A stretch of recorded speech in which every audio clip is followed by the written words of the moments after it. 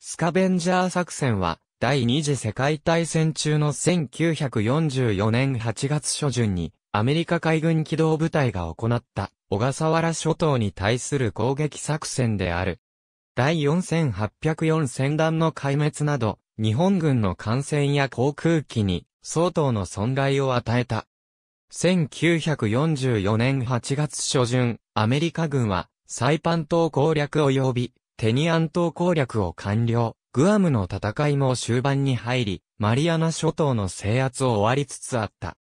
次の攻略目標をどこにするかは、戦略の見直し中のため未確定な状況にあったが、高速空母機動部隊である第58任務部隊は、7月下旬にパラオ方面の空襲と写真偵察を目的としたスナップショット作戦を実行するなど活動を続けていた。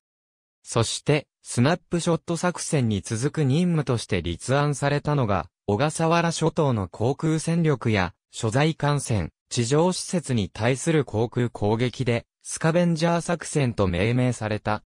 第58任務部隊のうち、第58.1任務軍と、第58.3任務軍の正規空母4隻と、軽空母2隻及び軽巡洋艦以下32隻が、スカベンジャー作戦へ投入されることになった。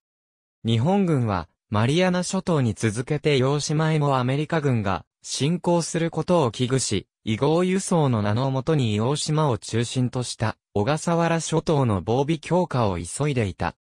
7月29日、松型駆逐艦一番艦末を機関とする第2護衛戦団司令部以下の横須賀鎮守フロツ、直接護衛部隊に守られた第3729戦団が、硫黄島へ向け執行していた。同船団を重視した軍令部は、マリアナ沖海戦後に、応急出動用として待機していた、軽空母随砲まで護衛に投入した。日本の文献では、この随砲出動が、空母撃沈を狙ったアメリカ機動部隊の襲来を誘発してしまったと述べるものもある。戦団の経由地父島到着までの関節護衛を命じられた随砲は、931空の97、観光12機を乗せ、第10戦隊所属の駆逐艦4隻を随伴して出撃した。他にも、父島や洋島には輸送艦船が在泊中であった。小笠原方面の日本側防空戦力は、6月15日以来の度重なる空襲や輸送途中の被害から不十分な状態であった。海軍航空隊は、新編の第3航空艦隊が主力だったが、8月4日、時点での稼働機数は、硫黄島に第252海軍航空隊所属の0戦16機を中心に一式立候4機と天山観光、月光野戦、各2機がある程度だった。他に、父島には、父島海軍航空隊の水上戦闘機5機、水上偵察機4機が展開していた。対空砲も、父島方面特別根拠地帯に海軍防空隊4隊を編入するなど、最優先で増強が図られていたが、第142防空隊と第151防空隊は人員のみで装備、未到着だった。パラオ方面でのスナップショット作戦を終えた第58任務部隊は7月29日に洋上給与を受けた後にマリアナ諸島沖へ戻った。続けてスカベンジャー作戦に向かう第58.1任務軍と第58.3任務軍は8月1日からサイパン沖で弾薬補給を受けようとしたが悪天候のため作業は失敗し各種航空爆弾、新艦が不足したまま出撃しなければならなかった。8月2日午後、給油だけを済ませた2個の任務軍は小笠原諸島を目指して出発した。日本海軍は8月2日、通信解析により有力なアメリカ艦隊が行動中であると察知し、小笠原方面での警戒を強めた。日本船団は8月1日父島機、8月2日に硫黄島機と無事に輸送を終え、キットについていた。随砲以下の関節護衛隊は8月3日に瀬戸内海へ帰投した。船団本体は父島で再編成され、第4804戦団と改名して8月4日朝に、父島を出港することになった。輸送船は、陸軍徴用船が、小本丸と利根川丸の2隻で、残る円珠丸、竜号丸及び第7雲海丸が、海軍徴用の特設運送船。護衛艦艇は、駆逐艦松、同旗風、第4号海防艦、第12号海防艦及び、第51号苦戦艇。ただし、駒宮は、第52号苦戦艇も挙げている。第4804戦団という故障は、横須賀鎮守府担当地区の戦団に用いられていた、命名規則に基づく命名で、千の位の4は、横須賀、トラック島まで運行される上り船団を、下3桁の804は8月4日出港を意味する。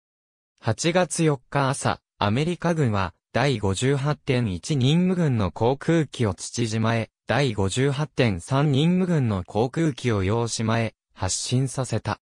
日本軍は午前9時25分頃に、硫黄島のレーダーでアメリカ軍機の接近を探知すると空襲警報を発令した。硫黄島基地では0戦14機を空中退避のため発進させ、その他の機体は地上で分散隠蔽を図った。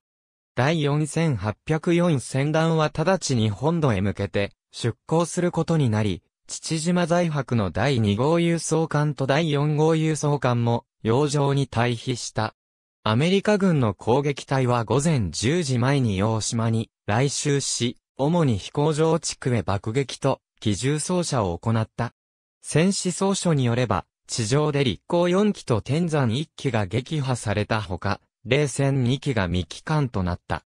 他方、硫黄島基地航空隊の戦闘外報によれば、翌日の稼働機数見込みが0 1011機、立候、天山、月光、核2機となっている。停泊中の3隻の輸送艦も、空母、バンカーヒルやレキシントンから発艦した航空隊により攻撃を受け、第152号特設輸送艦が直撃弾1発、資金弾8発で午後3時半頃に沈没、第133号特設輸送艦も資金弾と、機銃操車で浸水して同じ頃に、海岸へ、角座前村となった。父島沖で空襲を受けつつある第4号海防艦、または第12号海防艦。硫黄島よりも遅れて、父島方面でも午前10時40分頃から空襲が始まった。アメリカ軍機は、洋上退避した日本船団を発見すると、地上施設よりも艦船に攻撃を集中した。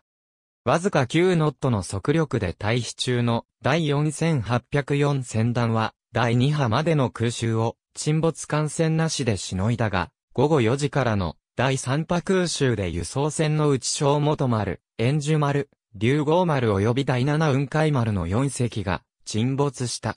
空襲終了時には、利根川丸のみとなり、各護衛艦も資金弾などで損傷した。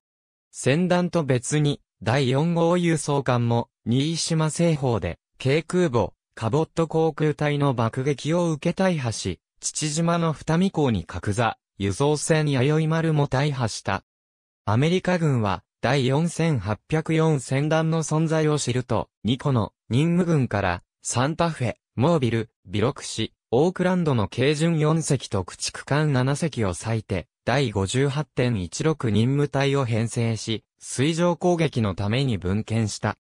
第58.16任務隊は、午後4時30分頃に、父島東方を通過、午後6時から7時頃に、向島南西で第4804戦団を捕捉し、向島海軍見張り所の視界内で放戦となった。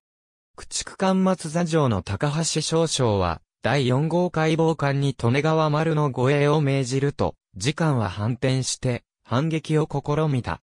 だが、北緯27度40分統計141度48分、北緯27.667度統計141.800度、27.667-141.800の地点で、集中放火を浴びて炎上し沈没した。高橋少将も、この戦闘で戦死している。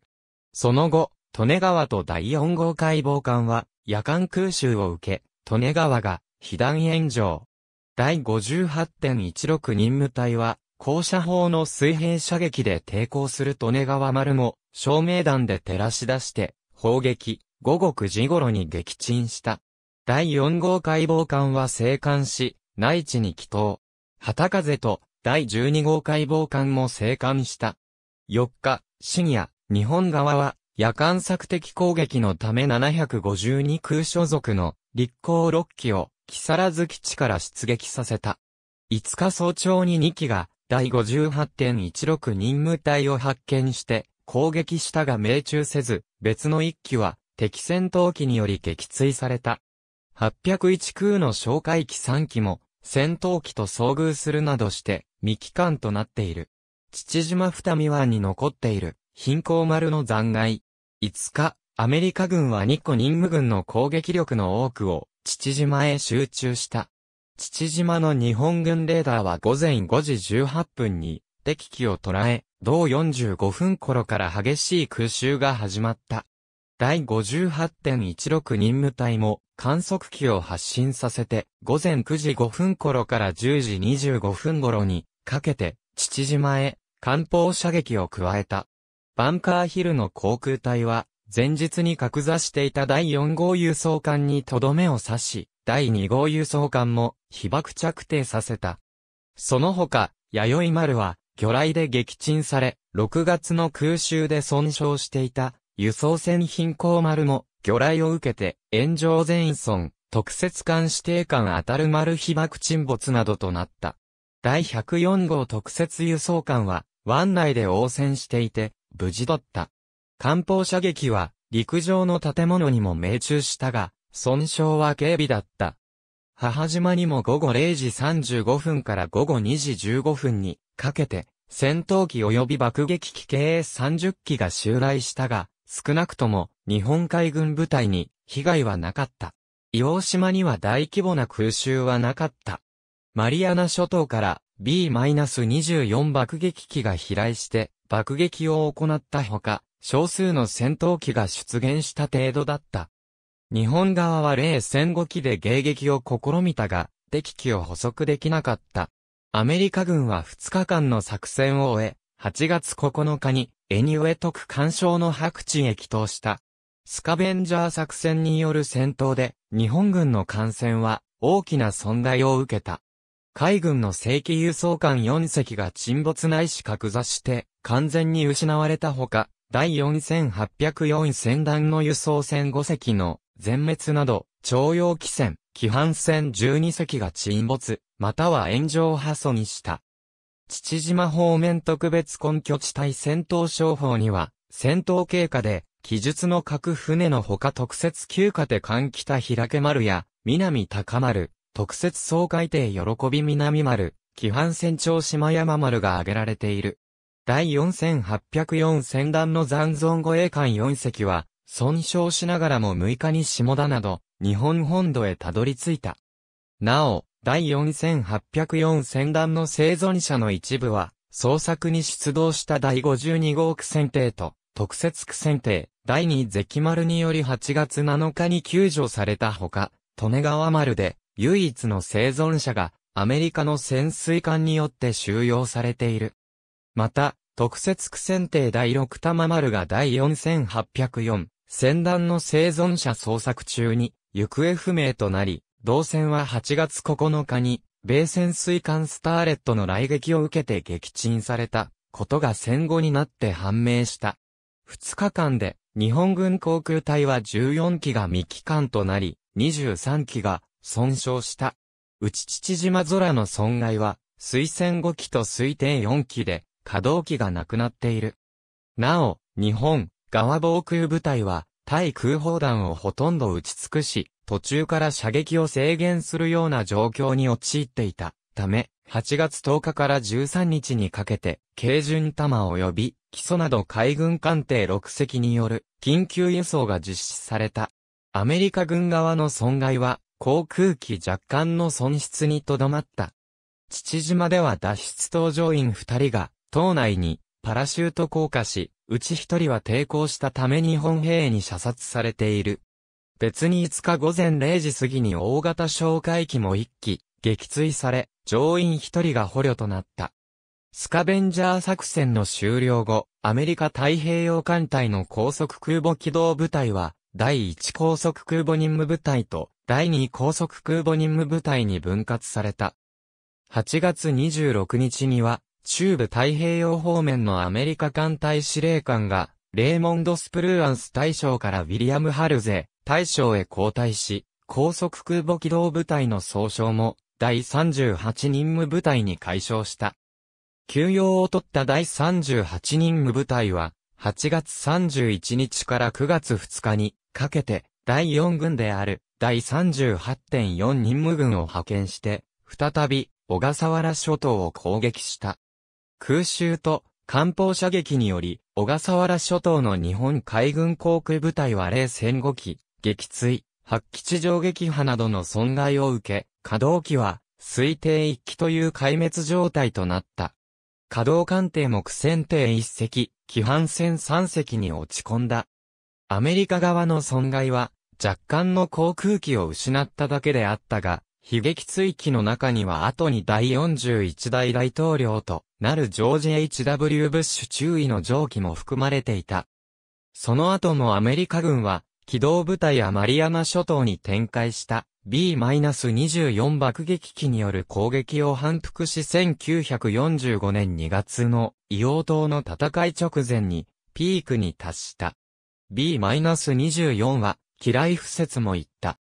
日本側は高速の輸送艦を多用するなどして、輸送努力を続けたが、第3905戦団が、潜水艦に全滅させられるなど被害が続出し、小笠原諸島の日本軍は孤立化が進んだ。ただし、硫黄島以外に上陸作戦は行われないまま、終戦の日を迎えた。孤立した父島の日本軍守備隊では極度の飢餓から小笠原事件が発生した。ただし、岩へは、駆逐艦冬月が護衛とする。ありがとうございます。